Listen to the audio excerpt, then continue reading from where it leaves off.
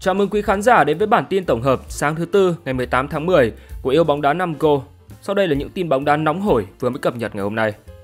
Lộ kết quả của bóng vàng 2023, điểm số của Messi áp đảo trở thành chủ nhân là không thể xứng đáng hơn. Ngày 17 tháng 10, tờ Sport của Tây Ban Nha đưa tin Lionel Messi sẽ được sướng tên ở lễ trao giải của bóng vàng 2023 năm nay diễn ra tại Paris vào cuối tháng. Siêu sao Argentina sẽ vượt qua những đối thủ nặng ký như Hà Lan hay Mbappe để được nhận giải thưởng dành cho cầu thủ xuất sắc nhất năm từ tạp chí France Football. Tờ Sport thông tin thêm, trước thềm gala trao giải, Le Quip, đơn vị đứng sau giải thưởng đã tổ chức một cuộc bầu chọn trên từng hạng mục dành cho người hâm mộ.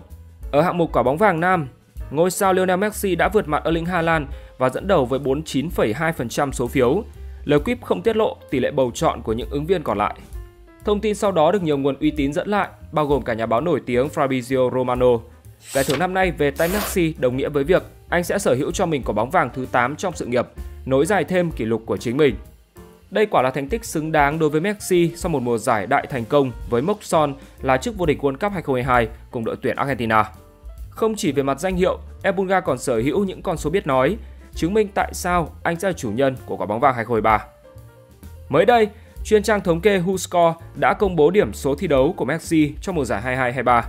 Theo đó, M10 áp đảo ở cả hai mặt trận cấp độ câu lạc bộ và đội tuyển quốc gia với điểm số được chấm cao nhất, thống kê cụ thể như sau. Cầu thủ được chấm điểm cao nhất ở năm giải vô địch quốc gia hàng đầu châu Âu 8.28. Cầu thủ được chấm điểm cao nhất tại World Cup 8.25. Sở hữu nhiều danh hiệu cầu thủ xuất sắc nhất trận từ WhoScore 16. 28 bàn thắng, 23 kiến tạo. Rõ ràng, mặc dù không thể giúp Paris Saint-Germain tiến xa tại Champions League, nhưng Messi vẫn có màn trình diễn cá nhân xuất sắc và còn ổn định. Trong khi đó ở World Cup 2022, anh chính là cầu thủ thi đấu hay nhất. Cúp vàng thế giới cũng chính là lợi thế đặc biệt của Messi ở cuộc đua quả bóng vàng 2023 so với các đàn em như Haaland, Mbappe hay De Bruyne, Rodri. Xác nhận bóng vàng, Messi thiết lập kỷ lục chưa từng có trong lịch sử. Theo đó, siêu sao Argentina đã có 7 quả bóng vàng, nhiều hơn bất kỳ ai khác trong lịch sử. Anh đã được công nhận là cầu thủ xuất sắc nhất hành tinh khi cùng Argentina lên ngôi vô địch tại vòng chung kết World Cup 2022 trên đất Qatar. The Sport đưa tin rằng Messi sẽ được trao giải thưởng cá nhân danh giá nhất do France Football tổ chức ở Paris vào ngày 31 tháng 10 theo giờ Việt Nam. Giải thưởng đó sẽ giúp cho anh vượt xa đối thủ truyền kiếp Cristiano Ronaldo khi ngôi sao người bồ mới chỉ có cho mình 5 quả bóng vàng. Chưa dừng lại ở đó, với việc gia nhập Inter Miami vào mùa hè vừa qua, Messi cũng sẽ trở thành người đầu tiên nhận quả bóng vàng khi chơi bóng cho một câu lạc bộ bên ngoài châu Âu. Có lẽ trong mơ, Beckham cũng không nghĩ rằng đội bóng của mình có một ngôi sao hàng đầu như vậy. Hơn lúc nào hết, cựu tiền vệ điển trai MU muốn Messi có được danh hiệu cao quý nhất trong đời cầu thủ mang về Inter Miami. Không chỉ riêng Beckham, hàng triệu người hâm mộ đang rất mong chờ để thấy được chủ nhân quả bóng vàng 2023. Người xứng đáng nhất sẽ được bước lên bục nhận giải vào đêm gala cuối tháng này, Lionel Messi. Messi thống trị đỉnh cao, tên tuổi Ronaldo mất nhiệt không tưởng. Lionel Messi vừa có lần thứ hai đứng đầu danh sách 50 vận động viên thể thao được thị trường ưa chuộng nhất thế giới. Danh sách này được công bố sau khi siêu sao Argentina lên ngôi vô địch World Cup ở Qatar vào tháng 12.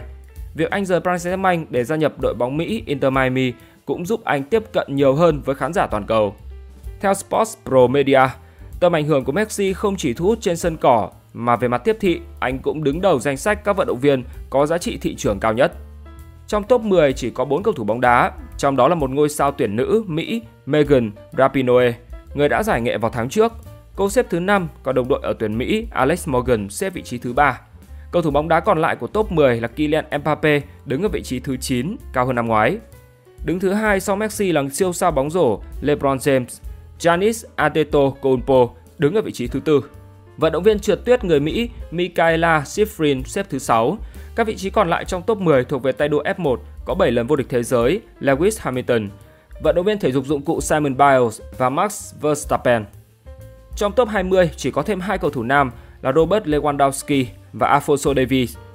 Cristiano Ronaldo đã rơi xuống vị trí thứ 27 trong danh sách sau khi chuyển đến Al Nassr của Saudi Pro League vào tháng 1. Năm ngoái, Ronaldo dẫn đầu danh sách này, còn Messi thì đứng thứ 5, nhưng năm nay thứ hạng của họ đã thay đổi đáng kể. Đại diện đứng cao nhất của bóng đá Anh là ngôi sao tuyển nữ Lucy Bronze ở vị trí thứ 15, sau đó là đội trưởng tuyển nữ tam sư Leah Williamson đứng thứ 17. Ngôi sao có vị trí cao nhất của tuyển Nam Anh trong bảng xếp hạng là Harry Kane đứng thứ 22. Bóng đá, bóng rổ, quần vợt và đua xe có số lượng vận động viên nhiều nhất trong top 50. Danh sách này của Sports Pro được đánh giá trên 3 cột tính điểm tức là sức mạnh danh hiệu, toàn bộ giá trị tiềm năng của thị trường và icon là mức độ tiêu thụ của thị trường. Huấn luyện viên Chu Jie, Việt Nam xứng đáng có 1 đến 2 bàn vào lưới Hàn Quốc. Hôm nay, đội tuyển Việt Nam thi đấu với đối thủ đẳng cấp thế giới, với những cầu thủ ở trình độ cao và chúng tôi không bất ngờ về thế trận ngày hôm nay. Họ rất mạnh về thể chất, kỹ thuật và chiến thuật. Huấn luyện viên Chu Jie mở đầu buổi họp báo sau thất bại 0-6 của đội tuyển Việt Nam trước đội tuyển Hàn Quốc tối ngày 17 tháng 10. Khi được hỏi về màn thể hiện của các học trò, huấn luyện viên Chu Jie vẫn tỏ ra hài lòng dù cả đội nhận thất bại đậm. Đây là cơ hội tốt để chúng tôi kiểm tra khả năng của các cầu thủ, một trận đấu thử thách thực sự về chiến thuật, sức bền và nhiều khía cạnh. Tôi không muốn nhìn vào bảng tỷ số, dẫu sao chúng tôi cũng đã có 30 phút cuối đầy nỗ lực khi chơi thiếu người. Đó là 30 phút mà chúng tôi có 7 cầu thủ dưới 23 tuổi trên sân và các cầu thủ đã có những trải nghiệm quý giá. Nhà cầm quân người Pháp nói, chúng tôi xứng đáng có từ 1 đến 2 bàn thắng ở trận đấu này với những cơ hội được tạo ra. Tất nhiên là những trận đấu như thế này, kết quả không phải là điều nên được đặt lên hàng đầu. Như tôi đã nói ở trên, tôi vẫn hài lòng với những gì các học trò của mình đã thể hiện. Họ đã nỗ lực chiến đấu đến tận những giây phút cuối cùng. Những trận đấu như thế này sẽ là trải nghiệm quý báu cho đội tuyển Việt Nam trước khi hướng tới những mục tiêu ở vòng loại World Cup và Asian Cup sắp tới. Huấn luyện viên Chuzier khép lại bài chia sẻ. Arsenal đang có giúp Bellingham của riêng mình, nhưng đó là ai? Trao đổi với Gimme Sport, ký giả Ben Jacobs đã có những chia sẻ đáng chú ý xoay quanh hai tiền vệ đồng hương. Cụ thể, vị này cho hay Declan Rice hoàn toàn có thể bùng nổ như những gì Jude Bellingham đang thể hiện ở Real Madrid nếu được Arsenal tạo điều kiện thi đấu nhô cao. Tôi sẽ thận trọng khi so sánh trực tiếp Rice và Bellingham, nhưng ý tôi muốn nói ở đây là nếu bạn nhìn vào Bellingham ở Dortmund, cậu ấy đã ghi 8 bàn thắng trong 31 trận đấu ở mùa giải cuối cùng của mình. Tại Real Madrid, cậu ấy được tự do hơn để tiến lên phần sân đối phương và bùng nổ. Bellingham có bóng nhiều hơn và nhờ những sự hỗ trợ từ đồng đội, cậu ấy có thể tạo ra nhiều khoảng trống hơn so với ở Dortmund. Jacob chia sẻ, Tôi nghĩ Arsenal nên cân nhắc ở một mức độ nào đó, Rice cũng có khả năng bùng nổ ở mặt trận tấn công nếu cậu ấy được di chuyển tự do như Bellingham. Tôi sẽ không ngạc nhiên nếu Rice được tự do hơn một chút và thi đấu ở vị trí cao hơn, đặc biệt là vì ở những cầu thủ thi đấu trong vai trò tiền vệ tấn công ở khu vực trung tâm của Arsenal không phải lúc nào họ cũng xuất sắc. Ronaldo có câu trả lời cho Messi. Sau khi Messi tuyên bố hồi tháng 8 rằng bản thân chưa nghĩ tới chuyện giải nghệ và đang tận hưởng bóng đá, Ronaldo cũng đã có câu trả lời tương tự khi được hỏi về tương lai.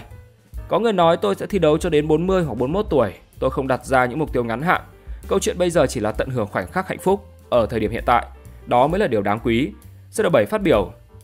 Dung Minh, Ronaldo bất ngờ bị fan cuồng tấn công ngay trên sân.